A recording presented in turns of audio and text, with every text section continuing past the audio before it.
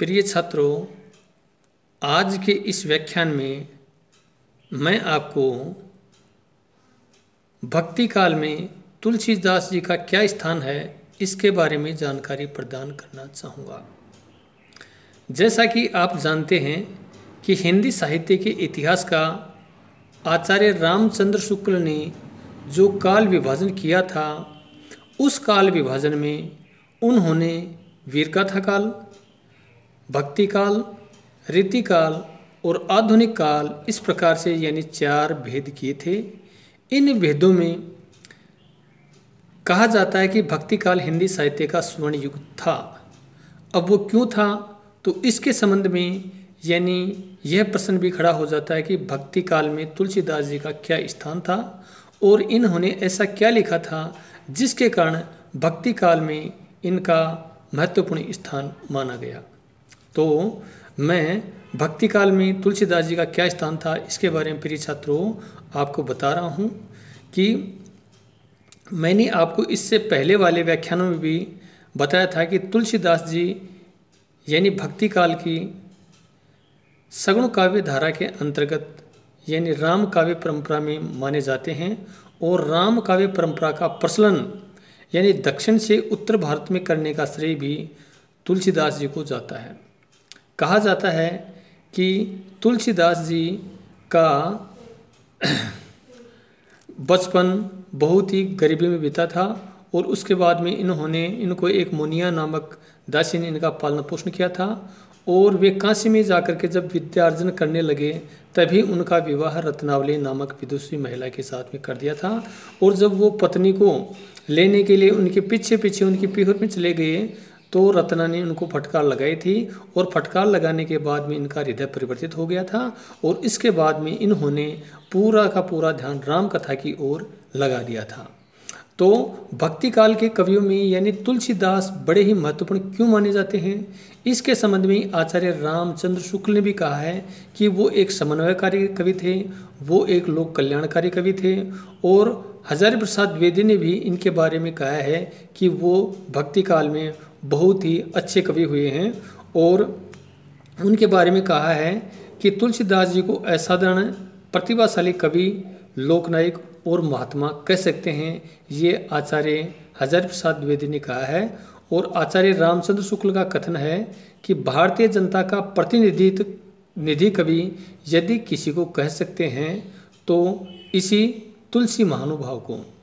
और इनकी प्रसिद्धता के बारे में अनेक विद्वानों ने अपनी अपनी राय दी है।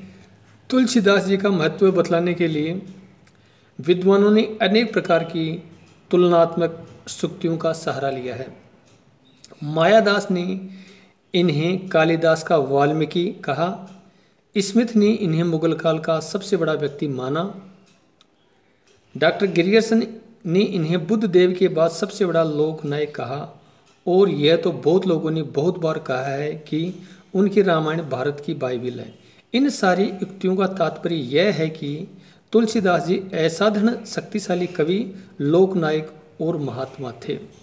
तो यानी अनेक विद्वानों ने, अनेक विचारकों ने और अनेक लोगों ने यह बात कहा कि तुलसीदास जी हिंदी साहित्य में भक्ति काल के अंतर्गत बहुत ही महत्वपूर्ण थे, समन्वयकारी थे, लोक कल्याणकारी थे, लोक मंगल की साधना में विश्वास करने वाले थे। तो ये तो लोगों ने कहा लेकिन प्रश्न ये खड़ा होता है कि इसकी श्रेष्ठता के क्या आधार थे? यानी भक, भक्ति काल में जो तुलसीदास जी हुए हैं और उनमें क्या ऐसी श्रेष्ठता थी जिसके कारण भक्ति काल में इनका महत्वपूर्ण स्थान माना जाता है? तो इसके संबंध में मैं आपको जानकारी प्रदान करना चाहूँगा कि तुलसीदास जी ने भक्ति काल में बहुत सारा साहित्य लिखा था। यानी इन्होंने रचनात्मक कार्य बहुत अच्छा किया था तुलसीदास जी की अगर रचनाएँ देखें तो हमें तुलसीदास जी की बाहर रचनाएँ देखने को मिलती हैं, जो भक्ति काल में बहुत ही अच्छी महत्वपूर्ण कृतियाँ मानी गई थी, और ये आज भी, यानी अपना महत्वपूर्ण स्थान बनाए रखती हैं। इन कृतियों में अगर हम देखें तो कवितावली है, गीतावली है, दोहावली है, रामचरितमानस है, विनय पत्रिका है भैरवे रामायण है, रामलला नैचु है, वैराग्य संदीपनी है, पार्वती मंगल है, जानकी मंगल है और रामलला नैचु। इस प्रकार से यानी उनकी बारह रचनाएँ मिलती हैं जो बहुत ही महत्वपूर्ण इनकी रचना थी। रामचरित्र मानस तो यानी भक्तों का, भक्तों के कंठों का हार है।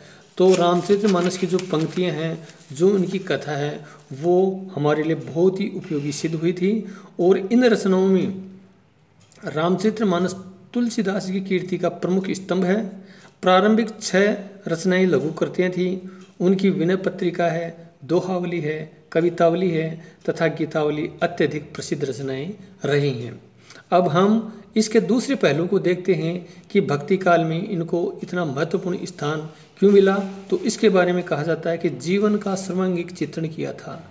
इन्होंने, यानी भक्ति काल में अगर और साहित्य को देखा जाए तो सूफी मार्गी कवियों ने, यानी जीवन के एक पक्ष का उद्घाटन किया था, एक ही पहलू को अपने काव्य में उतारा था, प्रेम काव्य, जिसमें यानी प्रेम को आधार बनाया गया था, और प्रेम ही सब कुछ नहीं होता तो इसके बदले में तुलसीदास जी ने यानी जीवन का सर्वांगीण विकास और सर्वांगीण चित्रण यानी किया है, उन्होंने जीवन के सभी पक्षों एवं व्यापक परिवेश का चित्रण किया। उनके मानस में सर्वांगीण जीवन उभरा है। उन्होंने अपने आराध्य राम के जीवन के व्यापक आदर्शों को अपनाकर समस्त उत्तरी भारत के जन जीवन को राममय बनने, बनाने का सफल प्रयास किया। भक्ति के साथ साथ उन्होंने लोक जीवन को भी अपने काव्य का विषय बनाया। तुलसी ने यद्यपि सब कुछ स्वंत सुखाय लिखा है, तथापि उसमें व्यक्तिगत साधना के साथ लोक धर्म का भी निर्वाह हुआ है। कविता उनकी साधना है और भक्ति उनकी साध्य। वे भक्ति भावना के द्वारा लोक मंगल की स्थापना करना चाहते थे। इस कारण उन्होंने मर्यादा पुरुषोत्तम राम के आदर्श चरित्र की प्रतिष्ठा करके अपने काव्य में सर्वांगीण जीवन का चित्रण किया है। तो इस प्रकार से इन्होंने यानी किसी एक ही पक्ष को लेकर के नहीं लिखा, बल्कि जीवन के स्वांगीण विकास पर इन्होंने खूब सारा साहित्य लिखा, जो उनकी अमर कृति हैं। अब इनके बारे में, इनकी प्रसिद्धि का तीसरा आधार अगर हम कहें तो यूँ भी कह सकते हैं कि विविध आदर्शों की स्थापना इन्होंने अपने काव्य में की थी। जैसा कि गोस्वामी तुलसीदास ने स्वंत सुखाय तुलसी रघुनाथ गाथा कहकर, जहाँ अपनी भक्ति भावना का परिचय दिया वहाँ वे लोक संग्रह की भावना से भी ओतप्रोत रहे हैं। यही कारण है कि उनके रामचरित्र मानस में जिन पात्रों के द्वारा जिन नैतिक मूल्यों की स्थापना की गई है, उनमें जनसाधारण का मनोबल बढ़ा है। उनके राम, शील, शक्ति और सौंदर्य की प्रतिमूर्ति हैं। वे जन जन के आराध्य एवं रक्षक हैं। यही कारण है कि तुलसी की राम कथा जनमानस को 400 वर्षों से अब तक आह्लादित करती रही है। तुलसी ऐसे महान कवि थे जिन्होंने सर्वप्रथम रामचरित्र मानस के पात्रों के द्वारा रावण पर रामत्व की विजय की कल्पना प्रस्तुत की और आदर्श राम राज्य की विचारधारा का प्रसार किया।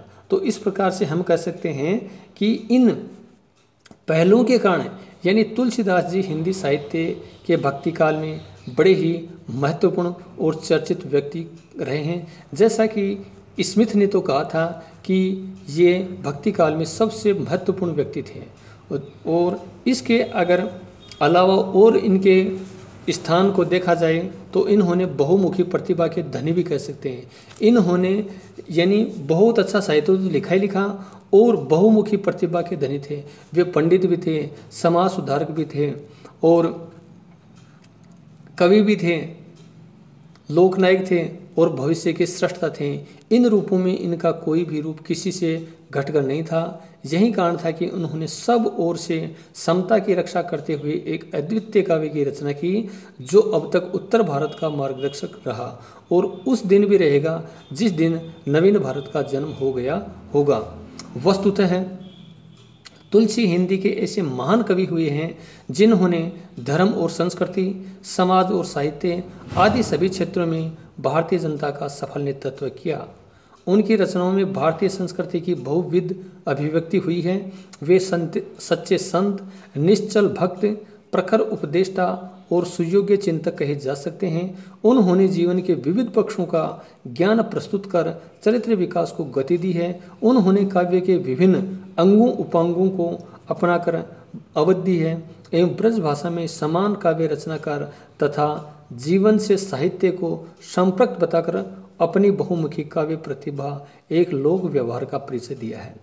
उनकी रचनाओं में काव्य की सभी शैलियों सूक्ष्म भावों एवं पांडित्यपूर्ण कथनों के साथ लोक भाषा की सरलता समान रूप से दिखाई देती है। एक और तत्कालीन लोक जीवन की मान्यताएँ एवं लोक गीतों की मंगलमयी आस्थाएँ उनके काव्य में मुखरित हैं तो दूसरी ओर शास्त्रों एवं दार्शनिक तत्वों की भी विवेचना उनमें दिखाई देती है।